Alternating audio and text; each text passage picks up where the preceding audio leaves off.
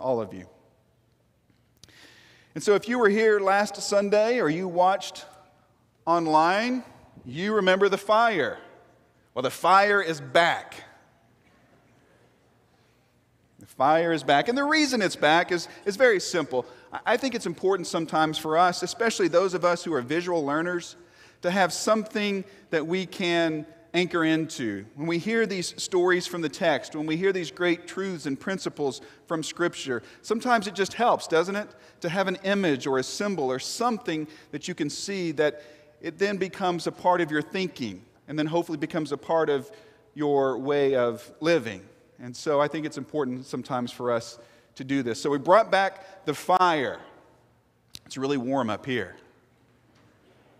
And last Sunday, you might remember that we made the point that we all know, and that is that fires can be destructive. When we face the fires in life, it can be difficult. Fires can be devastating because sometimes when you play with fire, you might get what? Burned. That's right. Or in trouble with your parents, either way. And so fires can be dangerous, fires can be devastating, and we face fires all the time in life. Have you ever been burned? I mean, literally burned. We've had, and I've had a couple of close calls. I remember several years ago, we were camping. The three of us were camping, and we woke up that morning and we built a campfire, much like this one, except for the extension cord. We built a campfire, and we were going to make breakfast over the campfire. There is nothing better when you're camping than to cook breakfast over the fire. And so we were cooking eggs, and we had bacon cooking. And the problem was, we were cooking this bacon on a griddle that didn't have a very big lip around it. Not good. Because when that bacon began to cook, the grease began to form, and pretty soon that griddle couldn't hold that grease in, and that grease came over the side of the griddle. Do you know what happens when hot grease meets hot flames? Whoosh! I mean, we had a firestorm. We all jumped back from the fire. We're checking our extremities. We're looking at each other's eyebrows to make sure we still have eyebrows. And then we assess the damage to the most important thing, and that is our bacon. The griddle is completely busted, cracked apart. Part of it's in the fire, part of it's outside the fire. Most of the bacon, unfortunately, was in the fire. The eggs were gone. However, there were still a couple of pieces of bacon stuck to the parts of the griddle outside the fire. And I thought, we can salvage that. After all, it's bacon. And so I peeled those pieces of bacon off of those pieces of griddle and I tasted a couple of bites of that bacon. Ooh, it was bad. Bad bacon. It tasted like bacon that came from a pig that had chain smoked its whole life. bad bacon. Not good. Oh. So I think we ended up having powdered sugar donuts for breakfast that morning. But it's a good lesson to learn. Fire can be dangerous. We tell our kids that. Don't play in fire because it can be dangerous. You can be hurt. And so, as we continue to look at the life of Peter, but more importantly, use Peter's perspective to look at Jesus and to interact with Jesus, we see Peter get burned by the fire. He was at that fire in the chief priest's courtyard, warming himself when he is confronted with his allegiance to Christ. Hey, aren't you with Jesus? And you know the story. You know what happened. Peter said, No, I don't know him. When the heat became intense, Peter's faith melted away. He abandoned Jesus.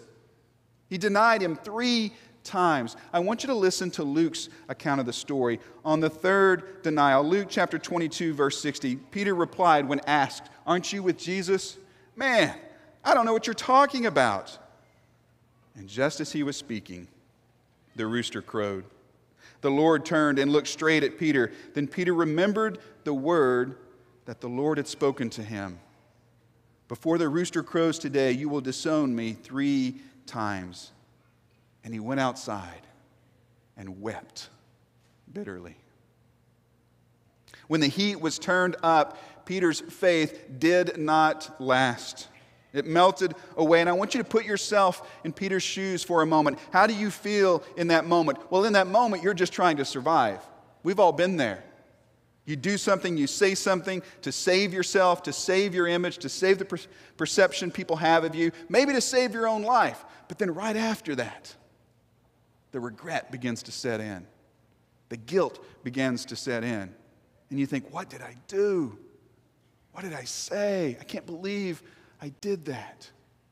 I mean, for all Peter knows, this is the last time he's going to see Jesus. And he looks into his eyes. And when Jesus looks at him, what does he see? He sees the guy that abandoned him, that denied him. That's what he sees. Can you imagine the guilt? Can you imagine the regret? You see, facing the fires of life can be extremely difficult. And some of you know this because you've been through the fires. Maybe you are going through the fires the fires of temptation, the fires of anger, or pride, or lust, or the fire of loss, or of social pressure. You know what it's like to go through the fires. Will your faith hold up? You see, those fires often cause us to do regrettable things, and we are left with guilt. But as we continue to use this symbolism of fire, it's important for us to acknowledge that sometimes fire does good work, doesn't it? I mean, you can warm yourself by the fire when you're cold. Fire can produce energy. Fire can save a life. And so sometimes fire does good work. In John's gospel, we see a couple of fire stories that I think are paired together.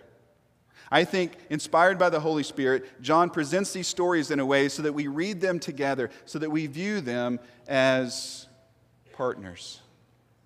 When you look at John's account in John chapter 18, you see a detail about the fire that Peter was warming himself beside in the courtyard of the high priest. John 18, 18, the literal translation reads this way The servants and the officers were standing there, having made a fire of coals because it was cold. Now, the NIV doesn't even include that detail. This is a literal translation of that text. Your NIV probably doesn't even mention that. Some of your versions probably do. But think about that. Why was that detail included? Fire is mentioned throughout the New Testament literal fire and also symbolic or figurative fire. But there's only one other place, only one other place that this detail, this fire of burning coals, is used to describe the fire. And it's three chapters later in John chapter 21. After Jesus has been crucified, after he's been raised to life, resurrected, there is some unfinished business that Jesus wants to take care of. And so we find him on the shore of the Sea of Galilee. What does he do? He builds a fire of burning coals. Here's the story. It's in John chapter 21 if you want to look at it. After Peter denied Jesus, Jesus is crucified by those Jewish leaders and approved by the Roman government. He dies on that cross and he is put in that tomb. But Jesus isn't like other would be messiahs. There had been other people come along claiming to be the Messiah, and they were killed for that claim, and you never heard from them again. But Jesus was different.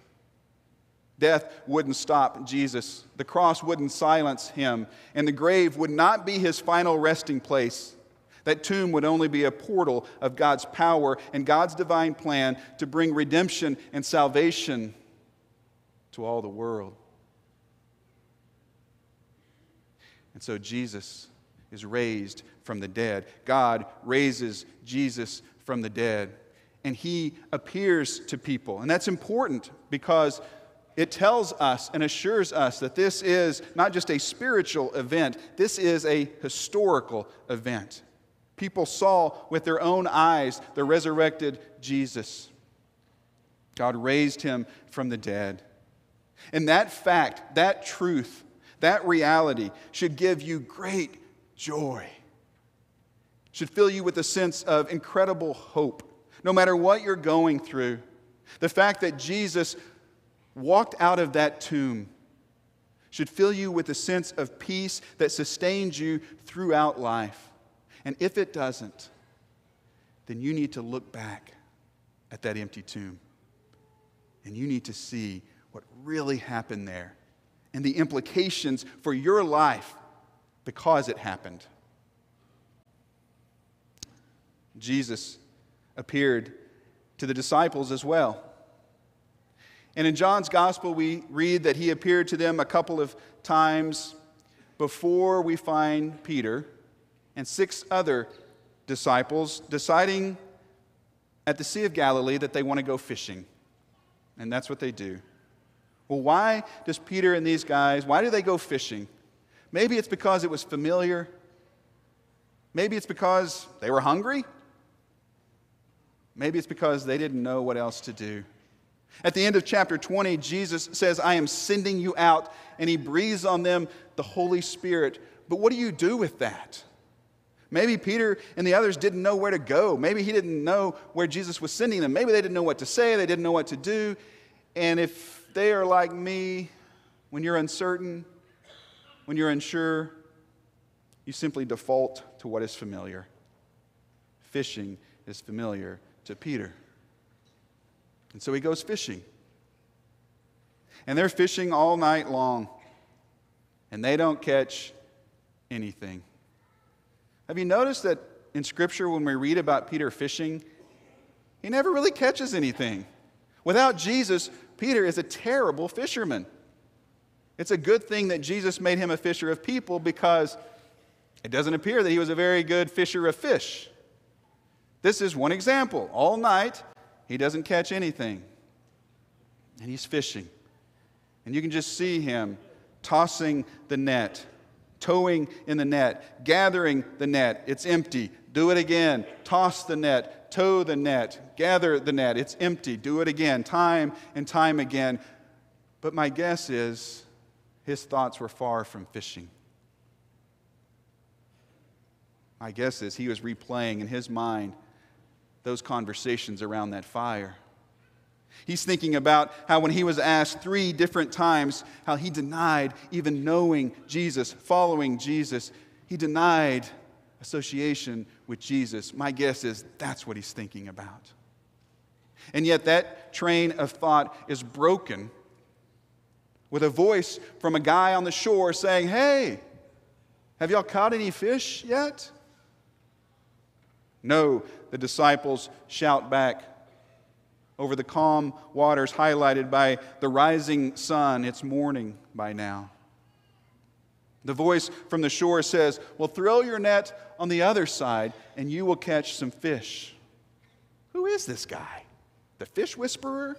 What's he talking about? But we don't seem to see any resistance in the text. You just read that Peter and the other disciples acquiesce and they throw the net on the other side of the boat. And what happens? Lo and behold, they pull in this huge catch of fish. Peter is so caught up in the moment, so wrapped up in the task at hand, that he misses the significance of the moment. But John doesn't. And you can almost see John's eyes as he's looking at this huge net bulging with fish, and then his eyes scan the horizon back to the voice that came from the shore. And John says the only thing he can say, it is the Lord. Verse 7 of chapter 21. It is the Lord. What does Peter do? Peter does what he always does he reacts impulsively. He jumps into the water and begins to swim as hard as he can to the shore. What do you think is going through his mind as he's trying to swim?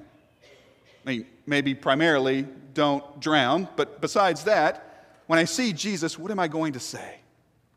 What is he going to say? And so he's swimming to shore. The other disciples are dragging the fish, and they're in the boat, and they're coming to shore as well. And they all get to the shore. And what do they find? Peter walks up dripping wet, to a fire of burning coals. On that fire is some fish already cooking, and there's some bread there. Do you have some sensory triggers? Are there certain smells that when you smell it, it takes you back to an earlier time, maybe your childhood, maybe a different place? Is there a certain song or songs that you hear that when you hear those songs, you are transported in time and space? What about a taste? You taste something and it takes you somewhere else, maybe to grandma's house and the cobbler she used to make or the casserole. We all have those sensory triggers. I wonder as Peter walked up, dripping wet, and he smelled the very distinct smell of the charcoal fire, if his mind immediately went back to that other fire. Maybe he was already thinking about that. I would have been, full of regret and guilt, but maybe it was the fire that triggered the thought oh, yeah. Last time I was around a fire, it was not good. I'm so ashamed. I'm so guilty. I'm so filled with regret. Jesus is there. The resurrected Jesus is there. He invites him to have breakfast with him. Get some more of those fish. Let's put them on the fire. Let's have breakfast together. And after breakfast, Jesus looks into Peter's eyes and he asks him a question. Now, if that's me, I'm going to ask Peter a question as well. And the question is going to be, why? Why did you do that? Why did you deny knowing me? Or how could you have done that? I mean, think about all that you saw me do, Peter. Think about all that I've done for you. How could you turn your back on me? I would have asked Peter, Peter, how do you expect me to forgive you? How in the world can I forgive you? But that's not the question that Jesus asks. That's not who Jesus is. Jesus asked a different question. John chapter 21, verse 15. When they had finished eating, Jesus said to Simon Peter, Simon, son of John, do you love me? Do you love me more than these? These what? These fish, these other guys, all of this? We don't know for sure, but we know the question is Peter, is your love durable? Are you with me? Yes, Lord, he said, You know that I love you. Jesus said, Well, feed my lambs. Verse 16 again, Jesus said, Simon, son of John, do you love me? He answered, Yes, Lord, you know that I love you. Jesus said, Take care of my sheep. The third time he said to him, Simon, son of John, do you love me? Peter was hurt because Jesus asked him a third time. Isn't that ironic that Peter was hurt? Because Jesus asked him a third time, Do you love me? He said, Lord, you know all things. You know. You know that I love you. The question is, Do you love me? Jesus wanted to know if Peter's love had been singed, had been burned, had been destroyed by the fire, because Jesus knew that there would be future fires. Can I count on you? Do you love me? Is your love real and rugged enough to face the fires of life? And notice how many times Jesus asked him this question three times to correspond with Peter's three earlier denials. It is very clear that this story, paired with the previous story around the fire, is presented as a story of great forgiveness. That this story is about Jesus forgiving Peter. Jesus extended incredible mercy to Peter. He forgave him, he restored the relationship with him. I mean, this is the wife who forgives and takes back the adulterous husband. This is the persistent parent that embraces the wayward child. This is the judge that pardons the hardened criminal. Jesus restores his relationship with Peter. You see, Thomas might be known as the doubter, and Judas might be known as the betrayer, but as far as Jesus was concerned, Peter would not be known as the denier. Jesus says, I don't see you that way. Jesus didn't focus on the past. He didn't linger on the past. He looked to the future. Don't miss the significance of what happens around that fire. Think about what Peter had done. He had blatantly and willingly turned his back on Jesus. Jesus, according to our thinking, our logic, and rational way of looking at things, had every right to shame Peter, or at least keep his distance from him. And yet, Jesus chooses a different path. He chooses relationship with Peter and restores the relationship with Peter. He chooses forgiveness and mercy. What an incredible story. I want to tell you today if you aren't perfect, then believe it or not, you fit right in with us here. Because you are sitting among a people who are not perfect people who have or are currently or will face the fires of life, the fires of temptation, the fires of social pressure, the fires of loss, the fires of doubt. All of the fires that we know are out there. And so many times we have failed. So many times our faith has melted away. And those fires have prompted us to do what Peter did to participate in these ugly denials of Jesus. For some, it's in our past. For others, it's right now. And for others, it's even hidden going on right now. See, there are people here who are allowing the world's way of thinking to infiltrate their minds. They're allowing Satan to turn them against God, against God's word, against God's people.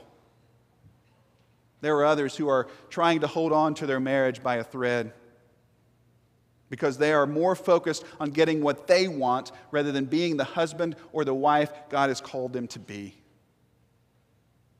There are some who are wrapped up in this battle with addiction, and so many days they are losing that battle. There are others who are living a double life, appearing as a Christian so often when people are watching, but when no one's around, doing and saying things that don't honor Christ. There are some who have so much baggage, so much of a painful, difficult past, they can't seem to get over it. Too many mistakes, too much regret, too much pain. If you feel like you have turned your back on Jesus, then I think Jesus invites you to the warm glow of the fire to hear his conversation with Peter because it's the same conversation he wants to have with you. And it goes something like this It's going to be okay. It's going to be all right. You are forgiven. You are forgiven. You see, no past is so dark, and no sin is so great that it will keep Jesus from loving you. No matter what you've done in the past, no matter what you're dealing with now, no matter what you're trying to overcome or what will face you in the future, nothing, nothing is too much to keep Jesus from loving you. That is the message throughout the New Testament. That's the gospel. And that's why Paul would write in Romans chapter 8 that he was convinced that neither death nor life, nor all these other things, nothing in all creation can separate you from the love of God that is in Christ Jesus our Lord. No matter how dark your past is, no matter how painful your current struggle is, it's not too much for Jesus to love you. But notice the conversation that day around that fire didn't end there. And neither does Jesus' conversation with you. Yes, Jesus forgave Peter, he restored Peter, but he also called him. Look back at the text.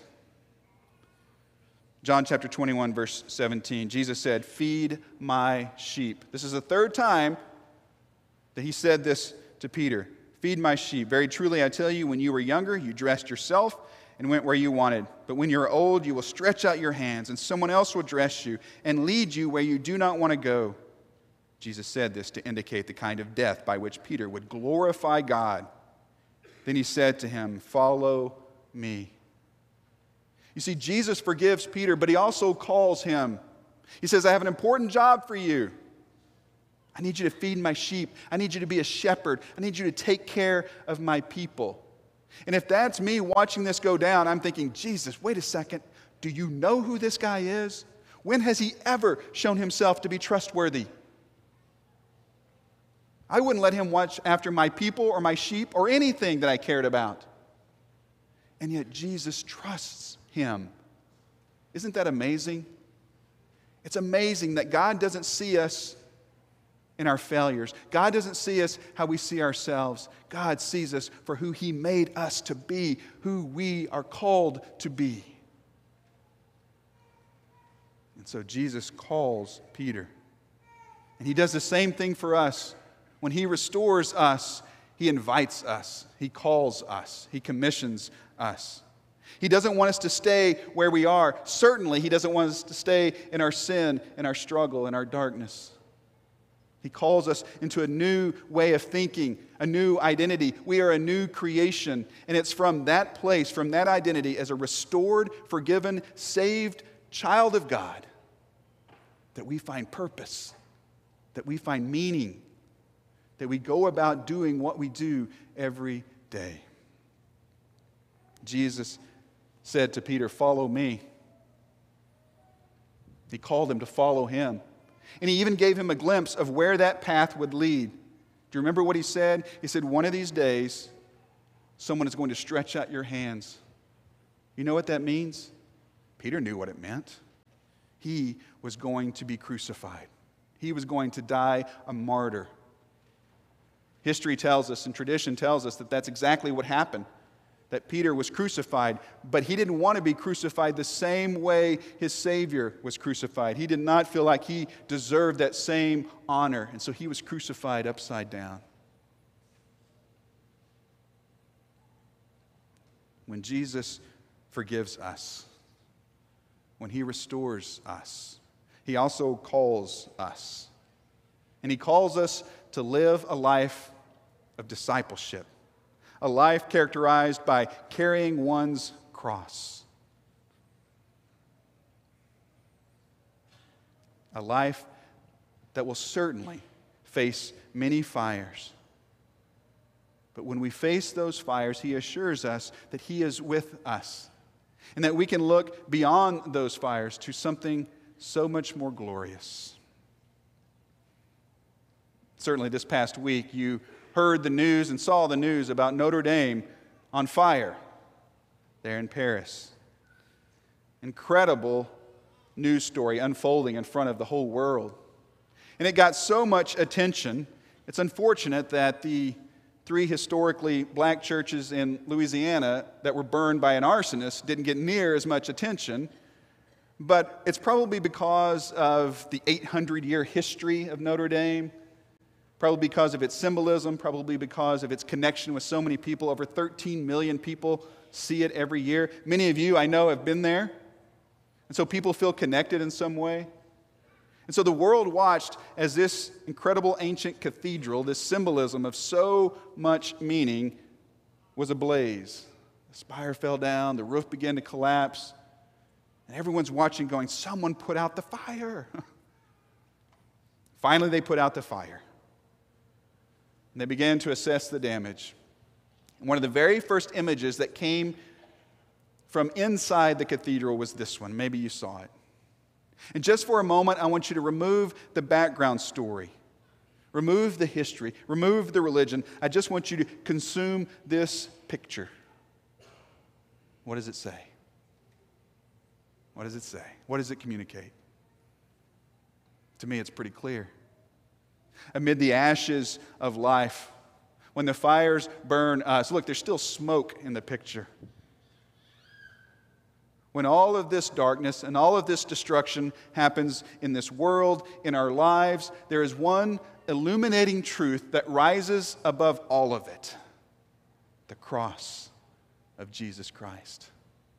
That no matter what happens, the cross still stands. And so does the empty tomb. And any rebuilding that's going to happen in our homes, in our marriages, in our lives, any rebuilding that's going to happen is going to have to be around the cross of Christ. You see, that's Peter's story. That's exactly what unfolds around that fire on the beach of the Sea of Galilee that day. That's also my story. And that's your story. And so we close with the same question that Jesus asked Peter that day around that fire. Simple question. The question is this Do you love me? Do you love Jesus? I can assure you, He loves you. Nothing you have done, nothing you will do can remove that love. But the question is do you love Him? He is pursuing you. Are you denying Him? The easy answer is well, yes, of course I love Him. Jesus, you know everything. If you know I love you. Well, if you love Him, and if you receive that restoration and that forgiveness He offers, remember that He calls you, that He invites you. So, what does that mean? What is the next step on the path of discipleship for you? Maybe today it is to give your life to Christ.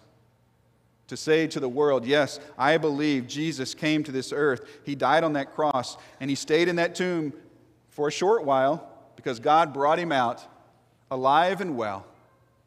And he is alive today. And I want to be baptized into Christ, clothed with Christ, living my life to honor him. We'd be happy to celebrate that with you today. Or maybe the next step on the path of discipleship for you is to be encouraged or to find support or to make some changes in your life, some of the things we talked about earlier. If we can encourage you and pray for you, we'd certainly be honored to do that. We're going to stand and sing a song. We'll have a couple of shepherds and their wives in their parlor, a room right behind me. You can exit out any of these doors, make your way there. They'd be happy to receive you, or you can come down to the front and we will join together and lift you up in prayer. If there's something we can do, we invite you to come as we stand and sing.